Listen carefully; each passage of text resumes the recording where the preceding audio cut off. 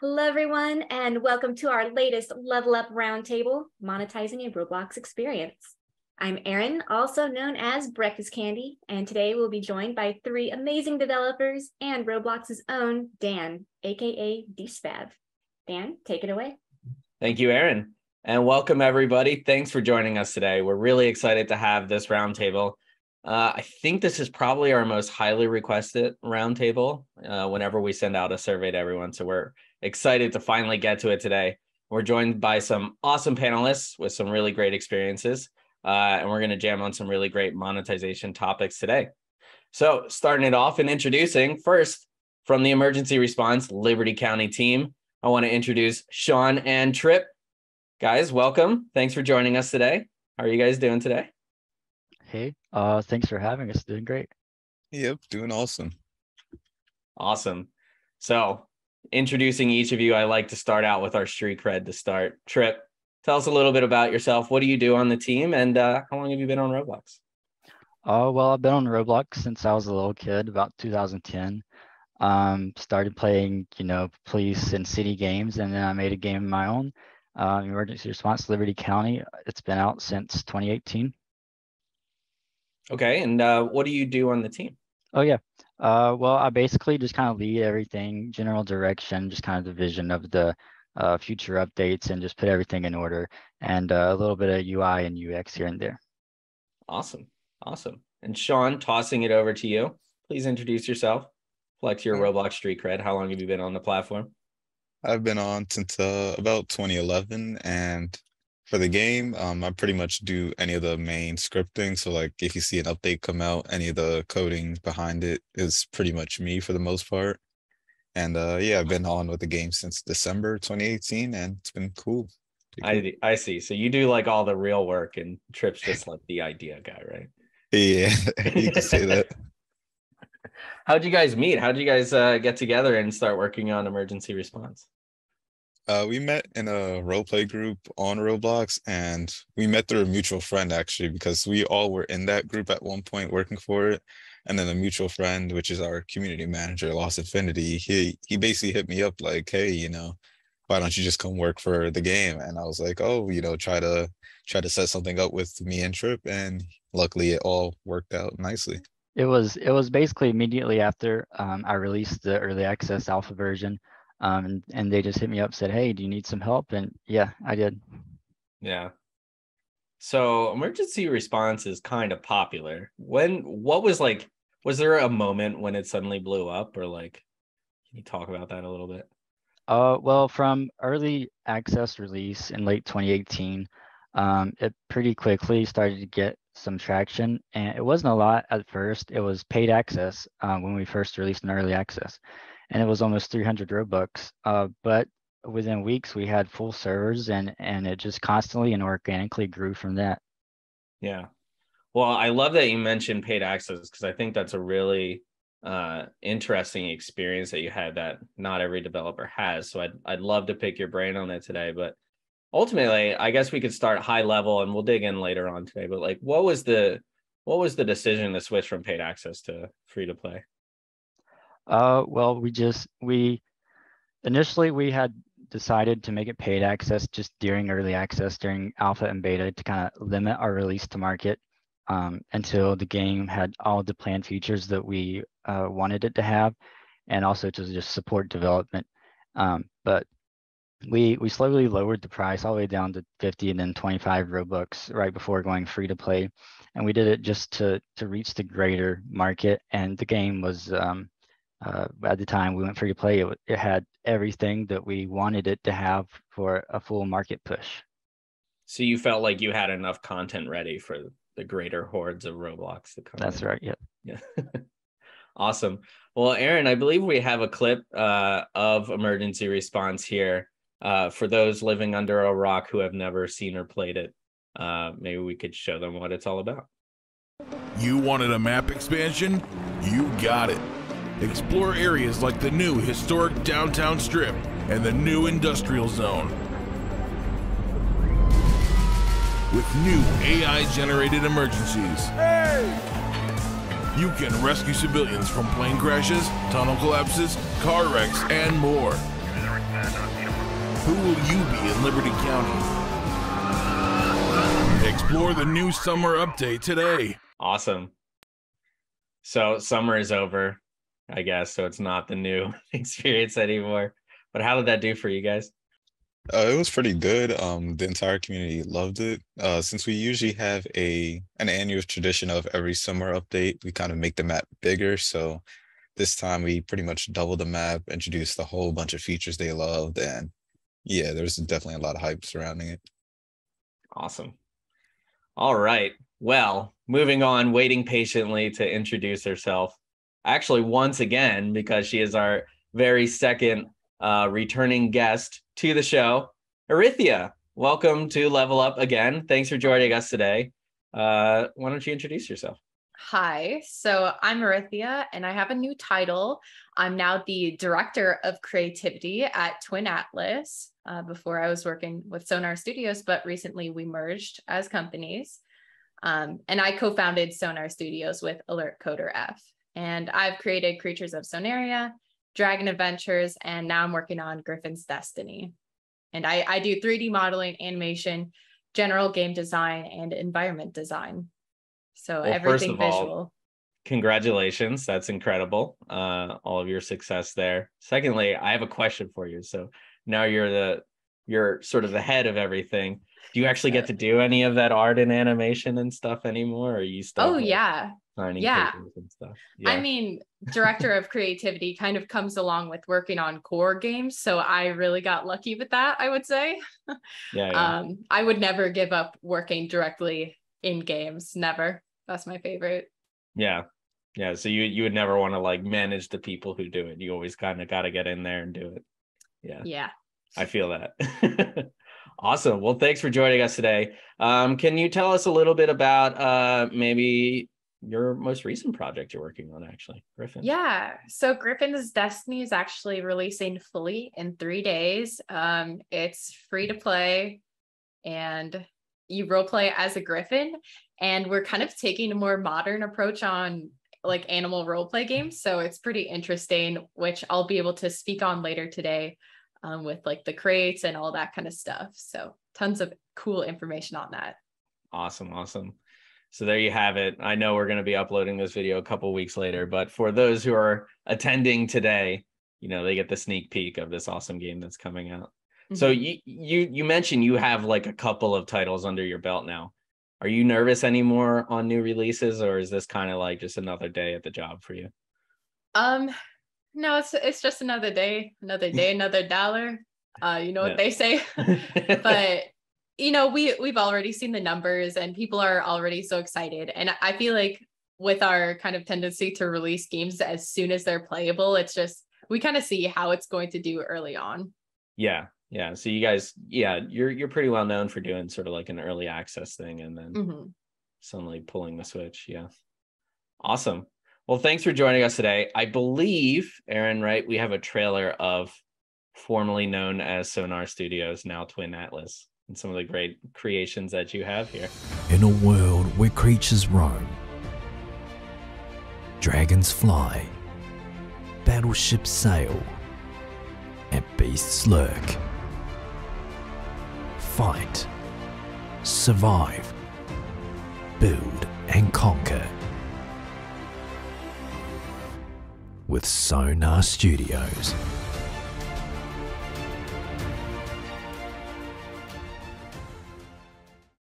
Awesome. Was that you doing the uh, voice acting for that video? Yeah, yeah. all me. awesome. Well, thanks for joining us. All right. Those are introductions. These are our panelists. Let's go ahead and hop into the highly anticipated monetization conversation. Starting off, I wanted to ask you all about monetization goals and throw out a little softball to everybody here. Um, why might developers want to monetize their games? Uh, I guess I'll start off. Um, I guess it's it's pretty straightforward for us. it helps you get paid for your work and can sus- can provide a sustainable job for you. So developers can you know be full time and everything or part time, however they want, and also allows you to hire more developers and buy more assets and other resources to further the development of your game. Yeah, sure. that's a good yes. point. Something yes. else. If if if you uh, can make games and you like to make games on Roblox, then why not have it be your full-time job, and pay the bills? Yeah. Yeah, I totally see that. So obviously I don't want to do a real job like working at a bank or something. So I can get paid to make video games. And also I Sean, I like your point too. I, I hadn't really thought of it that way, but you know, a steady income allows you to hire more people to create even bigger, cooler content, right? Yeah, definitely. Because at the start, it was only it was pretty much only um just the three of us working on the game, but by now our team has expanded to I think roughly 10 or 15 people. And I'm sure Sonar Studios definitely has a whole lot of employees too. So it definitely helps out. Yeah. Or sorry, uh Twin Studios. Oh, yeah. I forgot it, but yeah. the creative the director of creativity at twin atlas can you attest to that where what were your humble beginnings in terms of like development and where are you guys at now I mean, I feel like a lot of developers resonate with like working for free off the off the bat. Like a lot of us didn't pay ourselves. We're scrounging to feel like we can even pay rent at times. But now that you know teams expand and there's more games that we want to do, more ideas, we definitely monetize for ourselves for making money. And you know, definitely players can oftentimes see that as kind of selfish or not understand that but I would also say that we want to monetize because it took so long for so many of us to hone and practice our skills that you're paying for developers who have worked so hard and really understand the art of game development. Yeah, that's a great point. It's kind of like, you know, doing elaborate paintings and then just handing them out to, for free. Like, you know, you're not really doing yourself a service there. But I've also seen that from a lot of developers I've interacted with where they feel like you know they kind of have imposter syndrome and they're like i don't know if my work is like good enough to make money so i don't really charge for it right but if you think about the time and the effort and the passion that you put into your work right like ultimately you you deserve it right like you know this is your skill and this is your career that you're sort of pursuing so why not you know try and make a career of it yeah i think those are all valid points um so let's look at the flip side of that like why would players want to spend money in the game. Maybe I'll toss it over to the emergency response team first. Yeah. Um, so to have better items in games, eh, uh, to unlock new perks, to look cooler, and to feel like a better player, um, all great reasons to spend money in a game. And if you if you build something great, players will be more than happy to spend money on it um, to to uh, show off to their friends and, and maybe even advance their friends in certain situations. Um, uh, we have Mafia in our game, like Mafia's uh, for criminals to form. And if you buy the criminal game pass, you can, it gives you a lot of different features for the Mafia, for example, and you can up the percentages of different members in your Mafia to pay out from robberies and stuff like that. Yeah, um, I believe, Aaron, we have an example from emergency response here in terms of like buying expensive items. Yeah, there we go. So this uh, mobile command center and this really expensive car here, um, players could play the game for a really, really long time and grind at it, or you could skip the grind, pay a little bit and unlock it early and look cooler than all your friends. Yeah, awesome. And I mean, bringing it back to the original question, which is like, why would players want to spend money in your game? This is a question you guys are often thinking about and trying to answer with like content you're creating, right? Yeah, yeah. So um, there's many different aspects to it. Why would they want to spend money um, in a social system? Why would they want to spend money in a progression system, in a currency system? Um, so there's many different answers to it, but it all goes back to just um, advancing yourself as a player and being get, making yourself a little bit better player, uh, uh, but you without giving yourself an unfair advantage. Yeah, and this is a question I commonly get from developers, so I'll toss it over to you and put you on the spot here. But like, at what when you're designing a feature, you're you're mentioning like progression systems and all these things when you're designing a feature, at what point do you start considering monetization? Do you do it all the way from the start? Do you build out a really fun system first and then put it on top of it? Like, what's your general strategy? Not from the start, not at all. Uh, you want to make it a fun feature from the start. Uh, design it to be fun and valuable to the players from the start. And then later on, you can think, hmm, is this something that we could monetize? Is there some mechanism here uh, that we could integrate monetization? Sometimes yes, sometimes no. Uh, if the answer is no, we don't want to try and force it. Uh, we're not going to take a great fun feature and make it not fun just to make money off of it. Um, so monetization kind of comes second and you fit it in where you can and it, it works out. Yeah, that's a good point because you do want players to spend because they're enjoying your game, not because they feel like they have to. Right, right. Those are the kind of systems that create like a pay to win scenario and also sort of like scare away a lot of players who could potentially be enjoying your game like everybody else. Yeah. If you if you build it, if you build something fun, they will come and they will be happy to pay for a good value. There you have it, Field of Dreams, but video games. Uh, Erythia, I wanted to toss it over to you. Same question for you. Why would players want to spend in your large portfolio of games that you have right now? So I would say for us, it's actually pretty similar. You know, players just want to boost themselves, boost their progress in the game, or have really cool cosmetics that kind of differentiate themselves from other users. Our games, you know, they're super customizable with colors, materials, designing your your own creature to kind of look how you want it. Um, but you know, similar to the emergency response, like the first and foremost goal that we have is making sure that our game is really good on a base level and making sure that players can't get from the start of the game to immediately the end of the game. So there's always a lot of balance there to make sure players still have to actually play the game and enjoy it. Yeah. Well, I've seen like a, a few of the games that you guys have shipped, and I've noticed for a couple of them, you guys don't even have monetization in there at the beginning, right? Like you're so Yeah. Focused. What what are the things like you're focused on at that point when you're launching the game? Um, so right, Dragon Adventures didn't even have monetization. I don't think Sonar Creatures of Sonaria did either right off the bat. We're just trying to make sure that the game is playable and enjoyable before we start adding like, all right, how can we how can we start making money off of this? And you know, sometimes the systems just come naturally. Like this this is how players unlock new creatures. Obviously, this is something we can monetize. It's definitely not at the forefront of our thought when we're designing a game. It's just kind of there. Like we're we're aware of it and we're ready once the game is more developed to kind of monetize off of that. Yeah. Okay. Um, and Aaron, I believe we have something to share from creatures as well on this.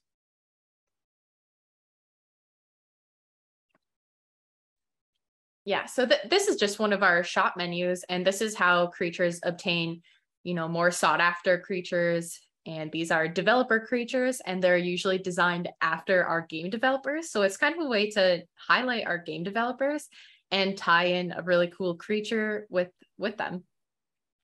Do they get all the proceeds of the sales? So No. like incentive to create the coolest avatar? No. no, not really. awesome. All right. Well, we talked about it a little bit, but I wanted to talk about monetization goals. Um, what should Erythia, this is for you first, but what should developers consider when setting up monetization goals? So, ah, since Griffin is coming out, this is kind of like on my mind right now, where maybe it's not as much on other games, but um, after your game is completed, I try to think of how much money would I like to make and how much money I realistically think I'm going to be making, and kind of setting healthy goals um, that's reasonable for the player base. And for me, it's important to consider the starting and end point of my game because I don't want the player to spend their way through the game. Otherwise, they'll they'll be finished with the game and they won't really have any reason to play it. Um, on top of that, it's really important me to consider the range of monetization. You know, how much Robux are players buying with USD, trying to look at those tiers and kind of set up fair values in the game. Um, and you want a healthy range of that because not all players have, you know, thousands of Robux and some players have a little Robux. And even that to them is really valuable to think that they're supporting the game, you know, 15, 30 Robux, and they they feel like they're supporting or even getting something small and cool. Hmm. So when you are actually setting your monetization goals, you're looking to serve every group of of player that there is, from those who want to spend a thousand Robux to those that want to spend, in the case you just mentioned, like 30 Robux, right? Yeah, exactly. And then offering, you know, if they just want cosmetic items or if they're trying to boost their way. So offering a variety of items for them to purchase. Um, yeah. Yeah. And um, the the other thing that you mentioned there that I thought was interesting was you mentioned you never want to set up monetization such that a player can just spend through the game, right? Yeah. So like what's what's the alternative there? Like if they're not buying, you know, 10 levels in your game or they're not buying the best gear in the game, like what are the alternatives there um, that are more healthy for the overall sort of progression of your game? Oh, that's a good question. Well, I would say uh, we don't really offer right now we don't offer boosts where the player can just you know level up super fast at least in griffin's destiny we just offer you can get in-game currency and that's fair because that's just like a repetitive purchase and not really buying the end content immediately i mean that's something that i would personally experiment with but I, I don't know i feel like if emergency can like jump in on that? I'm not really sure. Phoning a friend, emergency response. What are your thoughts?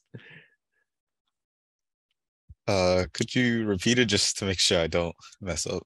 Yeah, so so rather than just selling straight up power in the game, right? Or just selling, you know, going from level 1 to max level as like a game pass or something. Like what are alternatives that that you as developers sort of consider uh, for players? in those situations? Oh, so um in in our game we obviously have a progression system like different rankings, but it's basically like level one through let's say nine, for example. And uh, for those people wanting to try to pay to win, we offer a different alternative to where they can't directly purchase, you know, experience points to progress themselves, but they can unlock they can unlock the items early. So say if we locked a vehicle behind a certain rank, instead of waiting to actually achieve that rank, you could pay Robux and get that vehicle early. So that's kind of the alternative we have just because a rank, um, your level, it does have some significance. It kind of shows, yeah, you put in the work you got here. And at least that will always stay true to each player, including the free players. And especially if you haven't paid anything, it shows you got this far without paying. But it still gives the people who want to try to pay to get ahead just something, you know, like a little perk for them. Trip? Yeah, but um, noting with that, we the the things they can unlock doesn't necessarily make the game easier for them. It's just you know cooler cars, better cars, you know some more features on your car, but doesn't make it you know any easier to arrest criminals or or play the game for that matter, really. Yeah. I think given all of that, it seems like the common thread here is that you're allowing players to pay for passion in terms of like cosmetics and looks and you know different looking things but you're expecting your players to still put in the time to get good at the game to experience the game and whatever else right so that might also come in like xp boosts or something like that where it's like you know you could get double the xp but you still have to play this game during this time we're not just going to give you the 10 levels you can just grind at 2x the speed to get there or something, right? Right. The fun comes from actually playing the game and getting good at it yourself and and being you know the best cop on the team, being able to arrest all the criminals. Um, and you, that's something you can't pay for. You have to play for. Yeah, it's almost like you're getting them to pay you to not play your game, which is not really not really yeah. One, right? And it's kind of also structured to like say a person who kind of just started if you maybe put in like an hour or two to get decent, you can still compete on the same level as someone who's the max rank. Just because they may have a few more tools to maybe help them arrest someone, you can still, you know, just as easily go around and do what you have to do. And you could still progress at a decent rate without feeling overpowered. Yeah. Pretty much. Yeah. Awesome. Well, bringing it back to the question, I want to toss it over to you guys as well and pick your brain on this. Uh, what should developers consider when setting monetization goals? Uh, like I'll go. Um, they should developers should consider, uh, I guess like we mentioned, how the free player plays and how you know the paid player plays. That ideally the free player should still be able to access all, or if not most, you know, maybe in certain cases like the Game Pass, but in majority of cases, you should still be able to access like all the content for free pretty much, whether that's through grinding and raking up or whatever you want to do with that. But as long as they're having fun and still getting through the game and that nothing is behind a paywall that's actually important. So you could maybe put a vehicle behind a paywall since that may not be so important in our game. But say if you have a driving based game that you need to get a certain lap time, for example, and you can only get that lap time with a really fast car they had to pay Robux for. Now you're sort of hindering their progress behind a paywall, which isn't the idea when you're introducing monetization. Trip? Yeah, and um, we talking about monetization goals and how we what we consider uh, monetary wise, we don't actually um, plan any goals as like hitting a certain number or um, certain number of sales or revenue, whatever.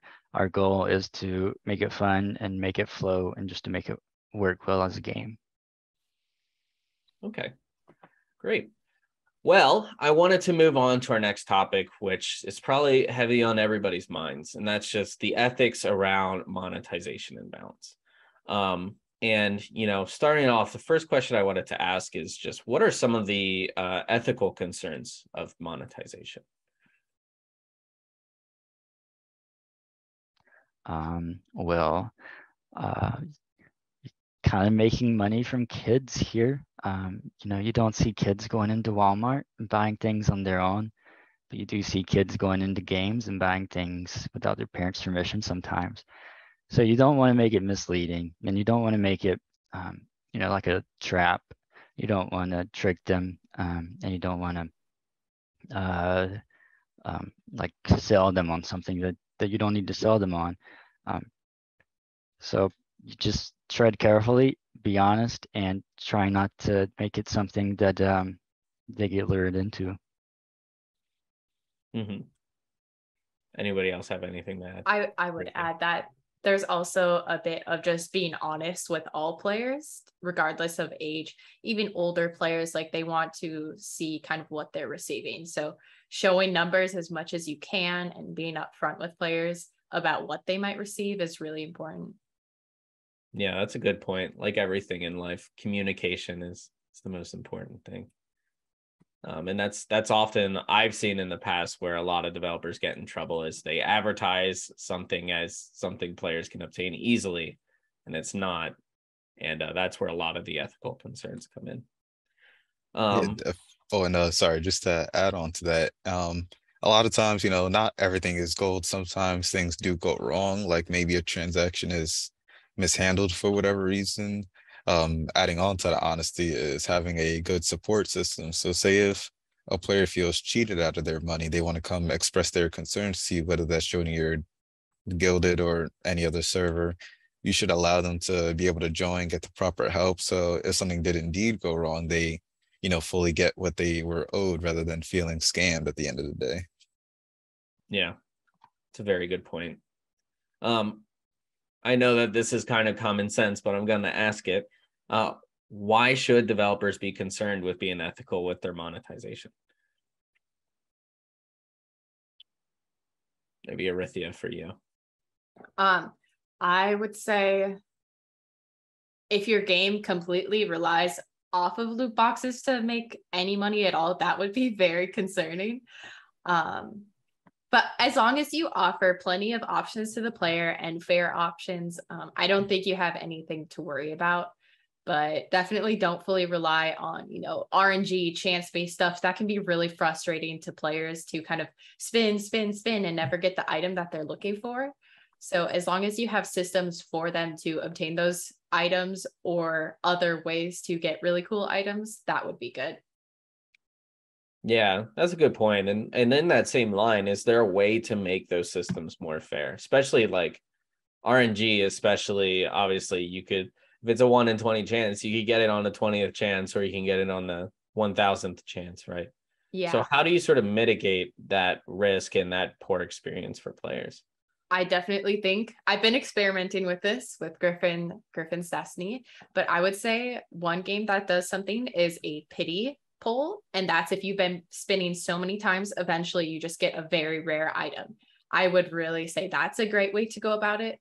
Or what I've been doing for Griffins is if you have rare or legendary items in the game, maybe offer those as their own kind of separate chests where the user is always guaranteed an epic or legendary based item.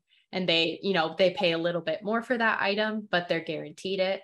Um, and also, you know, we just have a regular shop where users can buy stuff without rolling.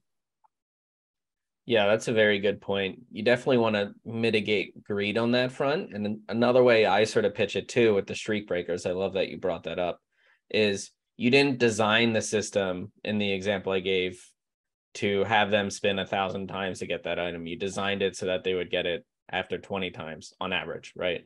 Yeah. So the only thing you're doing at that point is creating a poor experience for your players and damaging your own reputation, which is very important, right? Yeah, definitely. You don't want to be the developer who's known as, you know, the greedy person who's trying to pinch me for every penny that I have. You want to be a person who gives out the awesome unicorn pets at this rate that everybody wants and can trade with one another. So um I guess in that same line, like how does balance affect player perception on a monetization system? Um, you know, Trip, Sean, maybe for you guys, like pricing of your cars or you know the other offerings that you have like how much does balance go into it and why is it important for making sure that you keep a monetization system ethical yeah um you want to make it balanced and not too aggressive because an aggressive monetization system will make players feel like the game is pay to win um, and if if they don't feel like they're getting a good value if they feel like they're getting scammed or or taken advantage of, well, they're just going to steer away from your game, you know, the players, community, and you're just going to see numbers go down across the board. And of course, sales go down as well. Mm-hmm. And in terms of uh, pricing items, it you should have a decent reference point, like maybe compare yourself to other games and their pricing points for their in-game currency and make sure to sort of line it up because it's good to it's good to price it accordingly to where if a free person were to do it and you know spend eight hours grinding is it fair to only price that at say 20 robux to a paid person? Like are are you truly valuing eight hours of time into 20 robux? Now that might make the free player feel like wow you know that's that's kind of you know poor that they only value my time at 20 robux. So maybe consider pricing it higher just to show like hey we really want you to do this for free. If you really want to try and get ahead maybe here you can go ahead and pay this instead. But of course it's always like always just finding the right middle number right balance for everything because you of course you don't want to go too aggressive too high with the price. Yeah. And in that same line because i i also get this question all the time. Where do you even begin as a developer to price an item? Like uh, where what's your sort of starting point for that? I can take this one because I always wondered this myself too. And when I first when we first introduced our first game passes, this was after this was after several months into the game after alpha. Uh, but we uh, first of all, I'd ask myself, what if I were a player of this game? What would I what would I pay for this? What do I think is a fair value as a player? Um, and hopefully, you are a player of your own game.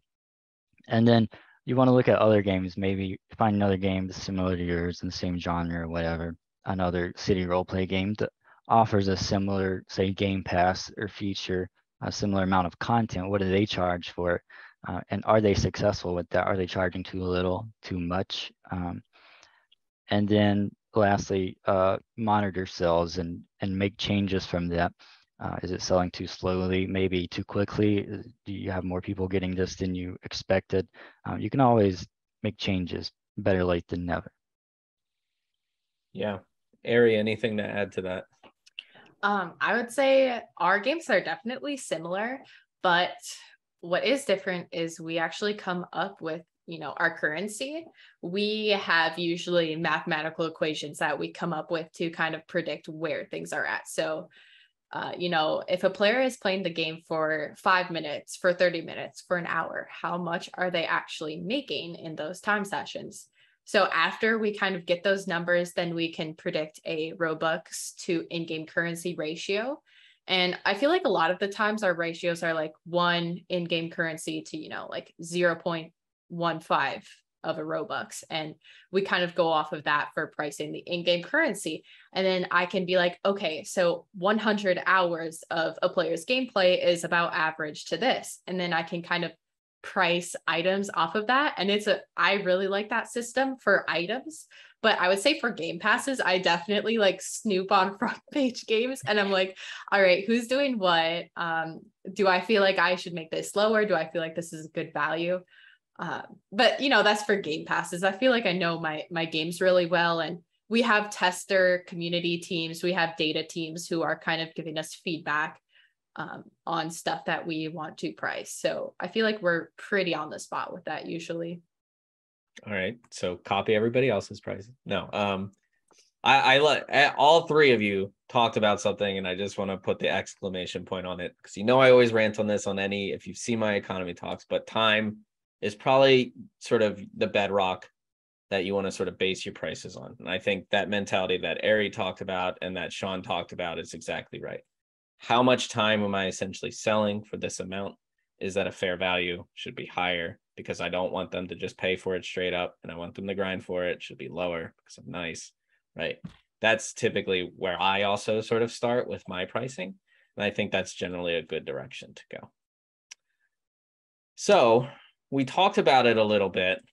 The elephant in the room here, the maligned term that we never want our games to be called pay to win. Can we talk about that a little bit? What, in your view, is like a pay to win game, and why is it a bad thing? Uh, so for for me Percy, I'm sure Trip probably feels the same way. Pay to win is giving an unfair advantage to players willing to pay, and essentially, like uh, say say for our game, for example, and um, basically cops in the game, they have, you know, a pair of handcuffs to arrest someone. And of course, there's a certain range on that. Now, say if we made it so if you bought this game pass for 500 Robux, your handcuffs now has like a one mile range for whatever reason. You can just pick people out of thin air. Now that's giving you a ridiculously unfair advantage and it's going to ruin the experience for free players because they're no longer going to be attracted since these people are just abusing the perk you gave them. Uh, yeah, and for pay to win, it's like I mentioned, it drives out the free players of your game and it just ruins the fun, and your stats will reflect upon that with due time. Well, why would you want free players for your game? Aren't they just like moochers at that point? Like, what is what is the point of having free players in your game? Just to it, play that guy. it's, it's not that uh, we want free player. Well, we do want. We don't want people to feel like they have to pay money or be required to pay money, but you're always going to have free players. So just acknowledge you're going to have free players and you're going to have paid players and you want to make it fair for all players. Yeah. Even though I'm not like sort of a bio major here, the analogy I always use is kind of like algae in the ocean, right? If algae didn't exist, everything else would be dead because that's like a main food source.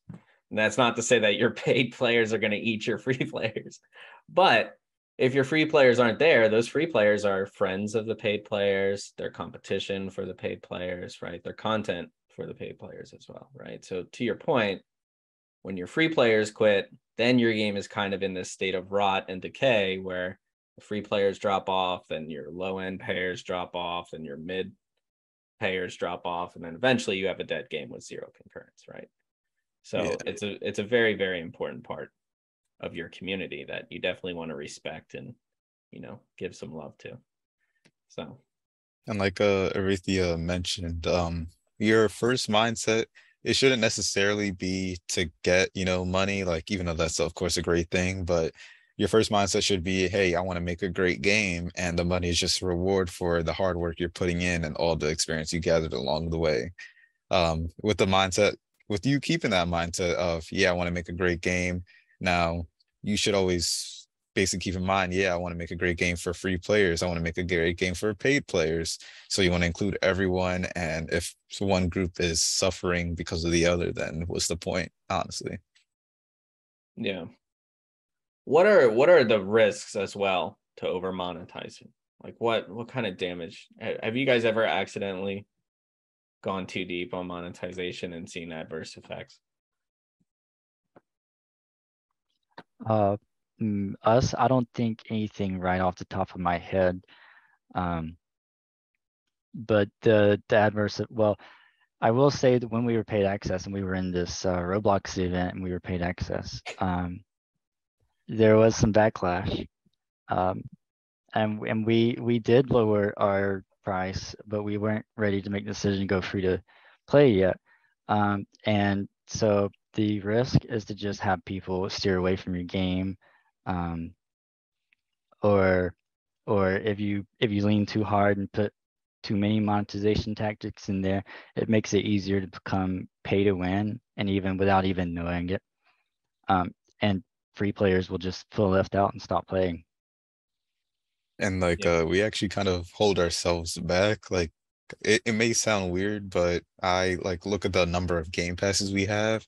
And I always just try to keep it at a reasonable number because I see sometimes other games they may have like 20, 30 game passes. Maybe they have to open a new place to hold more game passes because they somehow reached a limit. And I'm just like, do we do we necessarily want to be that kind of game where you click on our page and you just see a full page of, hey, buy this, buy this, buy that? Or do we want to be that game where you hop in and actually have fun? So it's yeah, it's just finding a balance between the two. Yeah. Well, you guys are survivors of that backlash, I guess. So this next question might be appropriate for you. Can a developer come back from over monetizing or un- even unethically monetizing with their game? Um, and if so, like what can they do to rebuild trust with the community? Yes, um, you can come back. Like I said, um, um, we went into that event. Uh, Roblox added us in. To my surprise, I didn't think we were going to make it because we were paid access. We were 50 Robux at the time. We lowered it um, down to 25 during the event, as low as we could go, um, without going free. Because, like I said, we weren't ready for that just yet. We uh, still had matchmaking servers still in the works and stuff. But um, the answer is you can fix the balance. Um, say if if you have too many paid things, or if um, if it's too expensive, you can lower the price, fix the balance, maybe remove some stuff. And then after that, to rebuild trust, add plenty of free content, add stuff that players really want and the players will enjoy, and don't make them pay for it. And uh with that, um, say in our case, when we did go free, we made sure all the people who paid, we all gave them like we gave them all perks pretty much. So they got a free card, they got some in-game cash, they got I think a weapon in the game, and you know, they just got like perks such as that.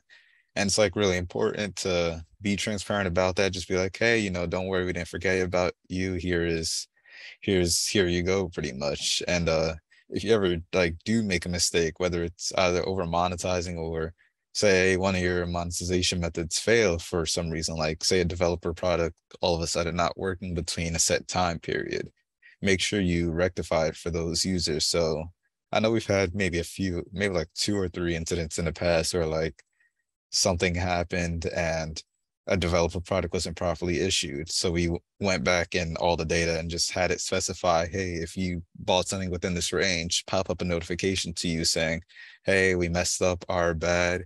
Here's how we're gonna fix it, and here you go, pretty much. So yeah, So communication once again. Yeah. Yeah, definitely. Harry, any any final words on that or ethics before we move on to uh, strategies?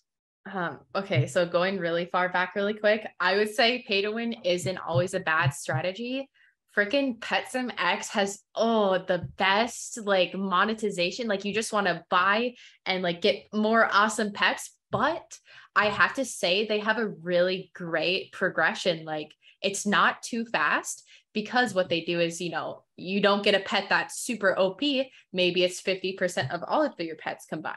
That type of simulation paid pay to win i think is good but that word is thrown so much in creatures of sonaria because it's a pvp highly competitive game and it's it's unfortunate it's inevitable it's going to happen because we can never balance the game to be 100% fair for every single creature available to play as but early on what i did do is i was like we're not going to have rarity in this game all creatures are going to have a 100% drop rate, which means all creatures are, you know, equal percent drops. And we have, you know, our testing team to scale all of those creatures very fairly, and we do it our best. But Um, still, the word is always thrown around. I think it's unavoidable. People are always going to use it. Um, and it sucks, but you just have to do your best to do what you can to make the game fair for everybody. Yeah, That's it's, it's kind of part of like the game vernacular now, along with OP or broken, right? yeah the the meta you Yeah. know when that happens obviously we go back we take a look at creatures that people are having issues with and there's a lot of rescaling nerfing you know that that type of stuff Awesome. Well, let's move on. Let's talk about some monetization mechanics. Um, and um, you know, I guess this one is probably most relevant for emergency response, but for you guys, we talked about a little bit before. What are some considerations for developers weighing the choice between paid access and free to play? Yeah, so with us, um, first thing that went into that was the state of the game being early access. Um, we weren't ready to push it out to the market. We didn't want people to have a first impression of our bare bones version of the game, but we still wanted to get it out there and get you know some people to to give us some feedback and let some you know hardcore Roblox roleplay community fans get their hands on the game and check it out. And so that's why we went paid access. And um, to add on to that, I think if you are um, determining whether or not to make your game paid access, think does it provide a value and is it unique? Does it have enough uniqueness and value that players want to pay for it? And I think with our game, um, we really did because within the like emergency services, police roleplay, city roleplay genre of games, um, ours was very much different than those in the past. That it was it offered a lot more roleplay and immersion and uh, features like uh, that that put you like a real life cop in the game. But it was also very much anybody could play it and play the game without you know doing a training in a group or anything. And that's what made ours unique and valuable to the players. hmm And what's like the the difference? Are there some like main differences that you notice between like when your game is paid access and free to play, like the kind of player that you have, or um, Uh, Um, well, uh, Sean, you want to talk about like the private servers and, and matchmaking? Yeah, sure. So uh, when we were paid access, um, since you kind of paid for the game pretty much, you wanted to get the most out of it, and you likely were a role player yourselves. So the role play experience in terms of you know people going along with stuff in public servers, it was like a frequent sight. But when we went free, obviously that kind of decreased since more free players came in, and a lot of people just want to hurry up and grind and finish the game.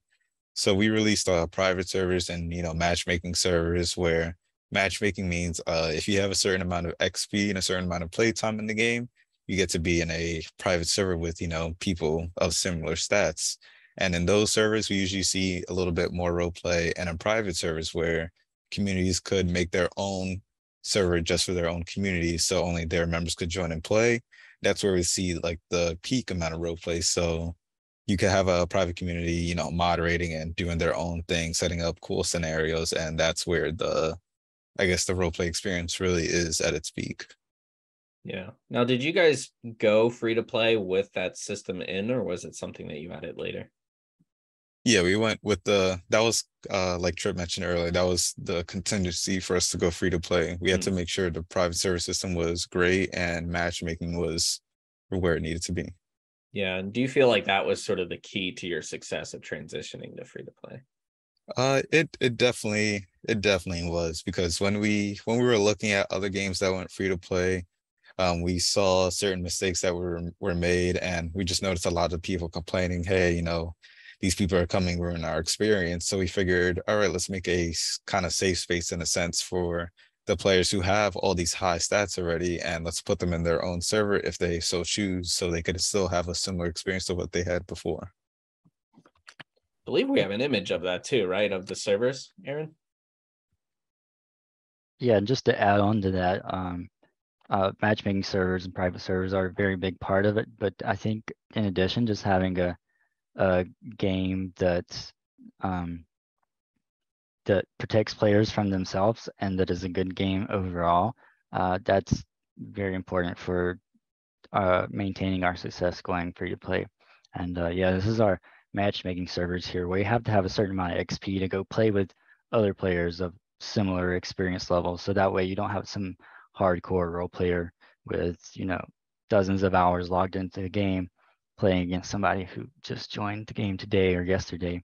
And we even have a, a set of servers for voice enabled users um, for those who want to role play with other voice users. Um, that adds a whole new level of role play immersion.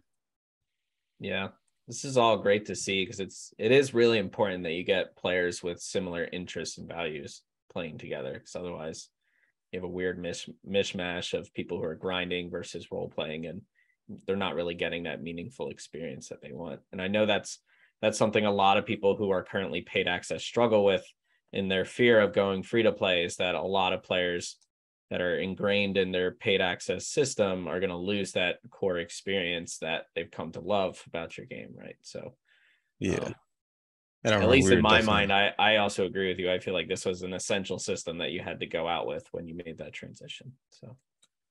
Yeah. I remember we kept bothering you all the time, like, because you kept pushing for us to go free, and we're just like, yeah, I don't know about that, but glad it all worked out. yeah. Awesome.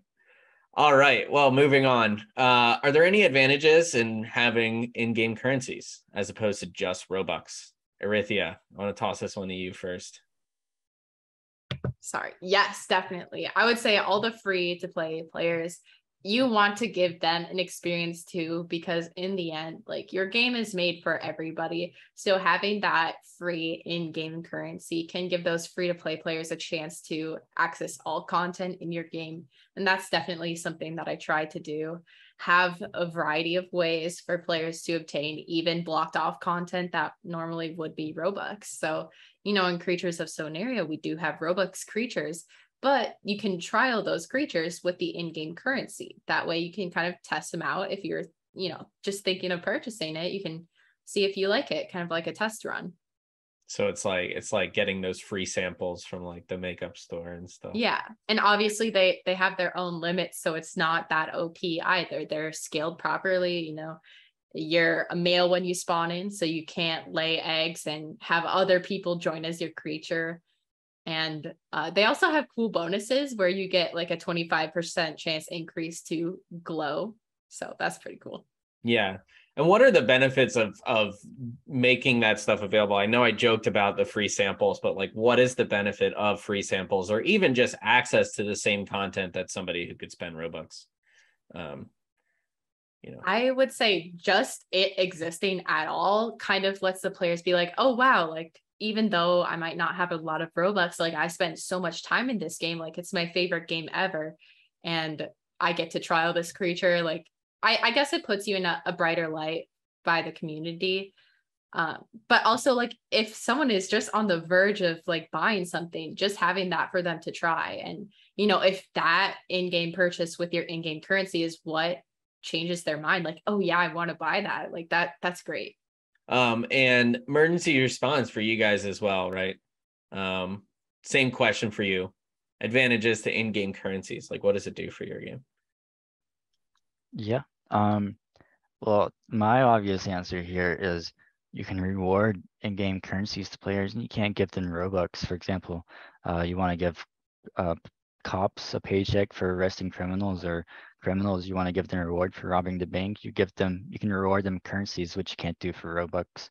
And you, the, the players can, can work for it, can collect and use that to buy something instead of having to buy Robux. And then that goes into having multiple cur- currencies for say different lines of pro- progression uh, different teams you could have different currencies to um, so we we rely more on xp on the teams and then cash on the civilian team so that that way you could you could work and progress as a criminal on the civilian team or you can go and work and progress as a cop on the police team or the fire department team and you can um, do those in whatever combination you want. You can play on the police team 24 7. You could do a little bit of both, um, whatever's most important for you. And even uh, like limited time events, you can do currencies for events. And um, so the players have to participate in the event to to purchase things from the event store, things like that. Yeah. So why would you want to do, I guess, in terms of monetization, why would you want to do an event currency for events? Like, what's the benefit of that versus just using your regular currency? Well, if it was just the regular currency, then players who have been playing the game and already have the currency, well, they don't need to participate in the event. They could just use their hoarded cash and just go buy everything out on day one. And then you don't have they they're they're not playing the event. You don't have the participation that you're looking for. Um, so in our Halloween event, for example, you can go trick or treating, you get candy, and that candy is our event currency, and then they can go to the Halloween shop and buy some some special potions or things like that um, for the the Halloween limited time event. Limited time. We'll we'll get to limited time events in a bit as a monetization strategy. Uh, but Ari, same question for you. Event currencies. Do you guys use those in your game as well? Oh yeah, we have, you know, three Halloween events going on right now throughout our games. And we always have used a limited currency. And part of it is like, oh yeah, we don't want players who, you know, with our sometimes broken economies, we don't want them to be able to purchase out, skip all the Halloween content that we've been working on, um, just to be able to get everything immediately. So spending time with the Halloween events is really important. But also usually Halloween events throughout our games have really, really sought after content by the players. And it's also a time for us to introduce some new content. So for the previous content that they see as extremely rare items, we want those to kind of represent their rarity through their their price. So we're going to set those higher value based on how the community already views them and you yeah. know newer items are a little bit cheaper because they need time to saturate and develop their value naturally so i would say always events just introduce a new currency otherwise you know put rich players who played your game are just going to buy it out and be able to skip all that amazing content that you've created for them yeah I, I've experienced the same thing where no matter how tight your economy, there's always going to be the hoarders who, who just have like boatloads of cash Mm-hmm. So like event currencies are a great way to just start everybody at zero for that specific event. Especially like in your example of Halloween, if you're starting on October 1st and you're designing it such that getting the best item in the event takes them let's say 20 days of engagement, right? Like yeah. you can't do that with your own currency because some players are going to be halfway there already at the beginning or all the way there at the beginning, right? So it's just a great way to start from zero. Yeah, exactly. You can kind of see it there and we do like show, oh, this is the best value to kind of be like, if you want the best bang for your buck, this is what option you want to buy. Yeah. Have you have you had a UI before where you didn't have that tag in there in terms of displaying the best value? No, I think we use that throughout all of all of our okay. games, even if it's in di- slightly different format. We always have, you know, you get ten percent more just for free if you buy this tier. Yeah, because I was I was going to ask if you had seen the benefit of adding it on there. Um, spoiler. Yeah, see this one. There's but a we, huge benefit to doing that. Yeah, and yeah. I mean, right now we can't see the exact purchases that users are making, which kind of is a little bit frustrating. But I I know like at RDC they said they're working on better analytics for us, so hopefully mm-hmm. soon. But you know, players like to get free free bonuses. So those numbers are always cool to see. Yeah. And it's not enough just to give them that free bonus. It's important to do the math for them, right? Because mm-hmm. What percentage, I mean, even I'll ask the audience here, what percentage of you have gone to a store and done the sat down with a pen and paper and done the math of which one is the best deal, right? I no lie, I kind of am that person. like if everyone other than Sean, brands, I'm taking out a calculator and figuring it out. right? But that's time that you could have spent actually playing the game versus just making the purchase and going, right? Mm-hmm. So there there's huge benefit to just not only giving these offerings because you're incentivizing players to make a bigger purchase, but also helping them make that decision by doing the math for them. And on that topic, uh, we we also have a picture of our in-game currency shop, and we we do that with the best value, but we also put how much exact um, how much money in game they get for every one robux and and you can see how much it increases with each with each level of of um, products and uh, i think that really that's really good for for people seeing the value of bigger bigger bundles yeah so yeah is. you can see there it starts at like uh let's see what does that say $214 per one robux and then the highest one is $571 for one Robux. So um, that's very tempting. Yeah, that's great. Yeah, you you did the exact math here. Was this Sean in his calculator again? I think it's actually uh, just done back code. Oh, awesome. There you go. The right. calculator method never fails. All right, moving on. And this is a popular one I've seen. Um, limited time items and rotating shops. Um, do any of you guys include these in your games? So we we have done it, um, and we've made mistakes in the past. Uh, basically, for a limited time items, you should be able to keep them unless there's something like consumables, like you know stuff you a player can purchase multiple times, maybe and use often. But say if it's like a one-time purchase during a Halloween event, uh, you kind of want to make sure they can keep it because one year we offered I believe, and uh, if you finish the event, you got to have a cool Halloween custom livery.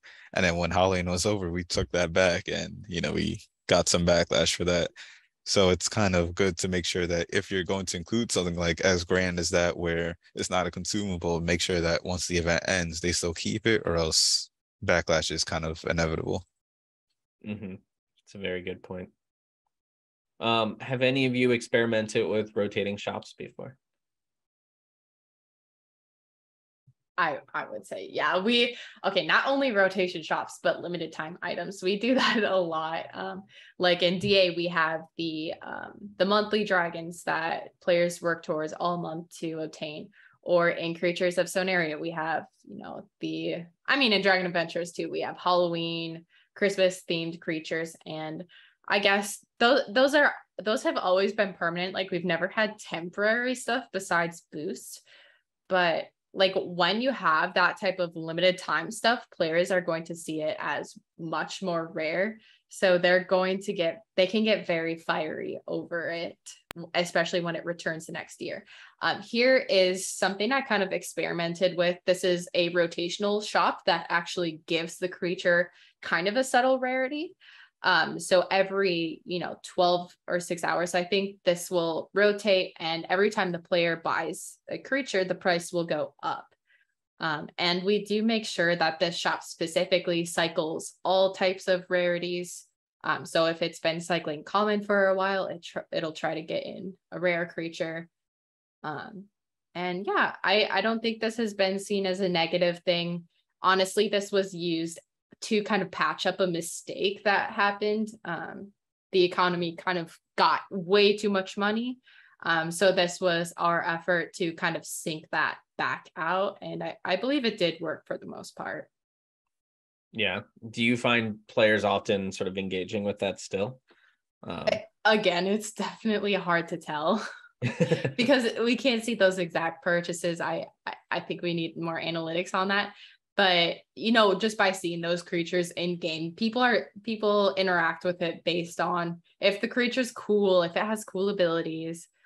But always players are collectors. They want at least one of each creature in the entire game. So they'll interact or receive those creatures, whether it's by the shop directly or trading. Yeah.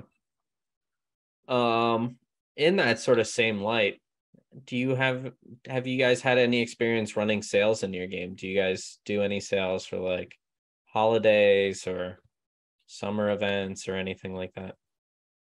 I don't think we do sales. So if you if you guys want to talk on that, We've done sales in the past, um, although not too often, and that's a good thing. Um, so sales for us is a good way to bring attention to your store. Um, players, even though players know you have a store, they've seen it before, but then all of a sudden you advertise a weekend sale and they go and check it out and they look at all the prices again and they reconsider everything again.